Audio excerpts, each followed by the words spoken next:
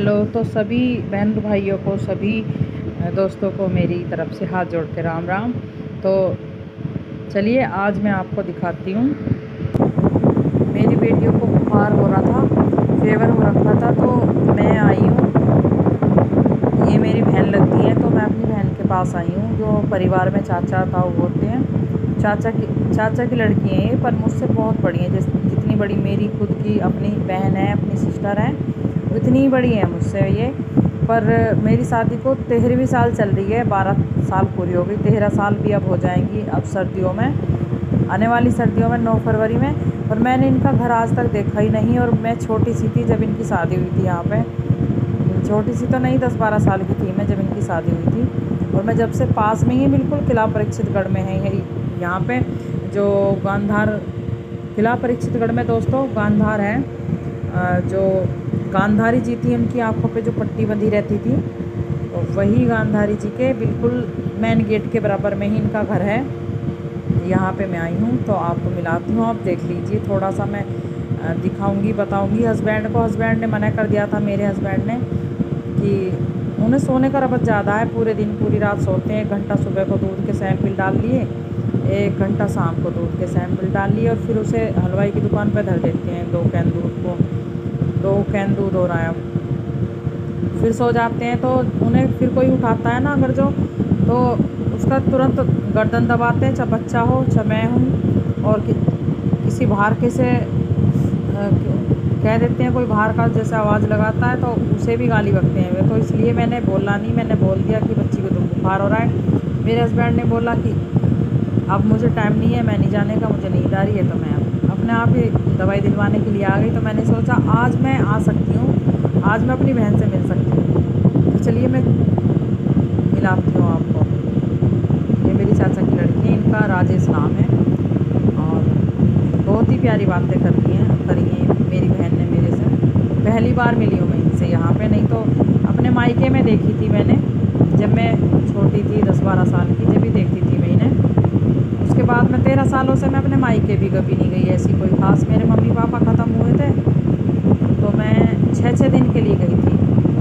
बस वो तो अब तो मम्मी पापा भी नहीं है तो अब तो ये समझो कि नाम भी लेना एक मुझे भाई है जो कि गलत नहीं था पर अब इतना गलत है कि कोई दुश्मन भी गलत नहीं हो सकता। इतना आ, एक भावज है उसकी वजह से आप खुद ही देख लीजिए ये है भावज की आवाज़ जो आप सुन रहे हैं।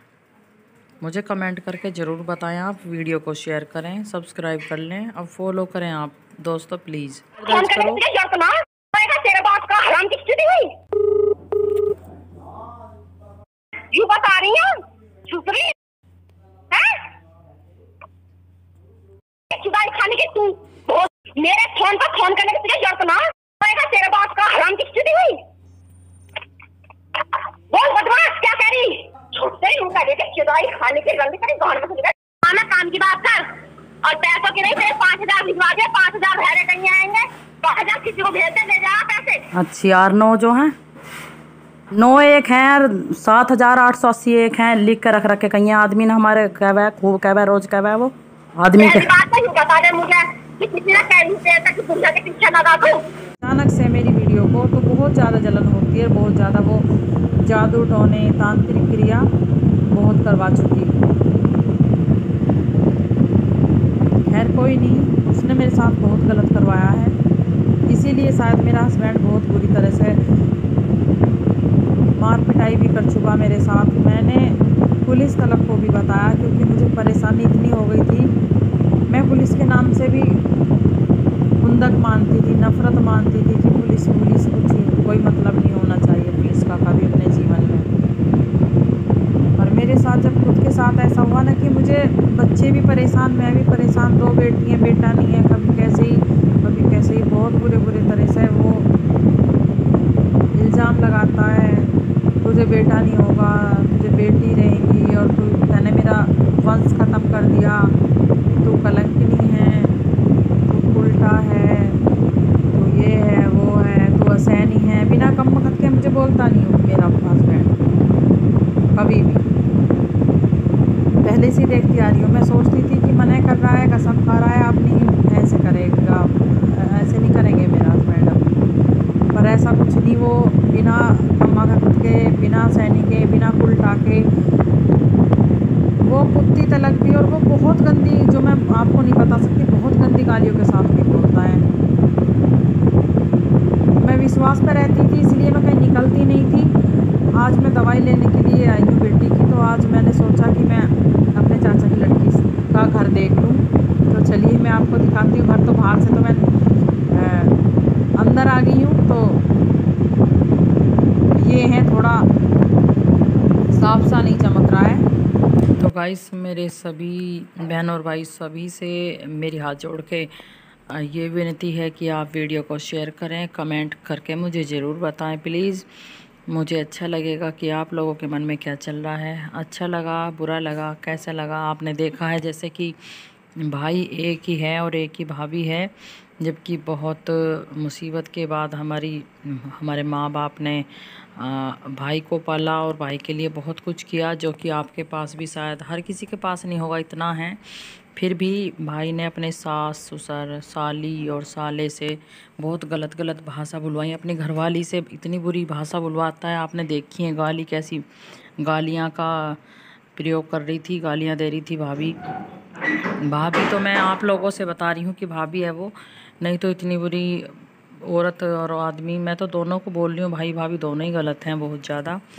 और कोई दुनिया में ऐसा बोल ही नहीं सकता, मुझे नहीं लगता कि कोई इतना बुरा होगा। आपने देखा ही है जैसे। तो आप वीडियो को ज़्यादा शेयर करें और सब्सक्राइब, फॉलो कर लें दोस्तों। ये मेरी आपसे हाथ जोड़ के अपील है मुझे कमेंट ज़रूर करें। इस वीडियो को ज़्यादा व्हाट्सअप पे शेयर कर दें, कहीं भी कोई रह ना जाए, प्लीज़। हाथ जोड़ के मैं आपसे बोल रही हूँ। तो ये मेरी चाचा की लड़की हैं ये जय गांधार के पास में ही रहती हैं। बहुत अच्छा माहौल है और इन्होंने बताया कि तेरे जीजा ने कभी भी आ, किसी मेरे ससुराल वाले से आज तक कोई बात नहीं सुनने दी मुझे और कुछ भी कोई गलत नहीं हुआ। मुझे अच्छा लगा सुन के। देखिए मायके का भी डर एक बहुत ज़रूरी बात होती जो कि बिल्कुल हकीकत है ये। तो यहाँ पे है ना, मेरे जो चाची चाचा हैं, दीदी के मम्मी पापा, वे भी बुज़ुर्ग नहीं हैं। मेरे माँ बाप ज़्यादा बुज़ुर्ग थे, वो ख़त्म हो गए। और अच्छे खासे हैं और काफ़ी मालदार भी हैं तो थोड़ा डर दहशत जो होती है, वो मेरे मायके में नहीं है।